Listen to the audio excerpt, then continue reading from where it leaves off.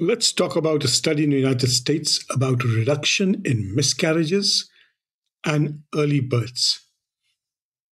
Can we reduce the risks of miscarriage and early births? Let's look at a US clinics data. In 2023, US IVF clinics reported over 415,000 cycles of IVF. And when researchers analyzed this SART data, they compared cycles that had used PGTA, that is genetic testing of embryos before transfer, to those who did not. They found that PGTA was associated with a much gentler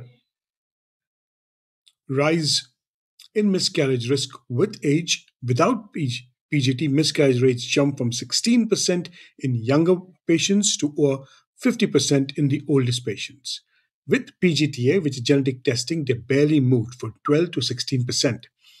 That putting numbers on this, PGT is estimated to prevent around 14,983 miscarriages and 6,619 preterm or very preterm births in 2023, with 1,000 more potential avoidable if it had been used widely.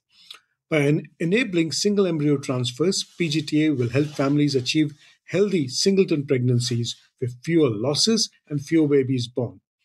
This debate about cost and oral live birth rates continues. Across the Atlantic, we debate often that whether PGTA should be done. But what is the biggest challenge of IVF? It is failure, its psychological impact, and its inability to return back due to financial and psychological impact. So, do you have a method of improving chances of pregnancy?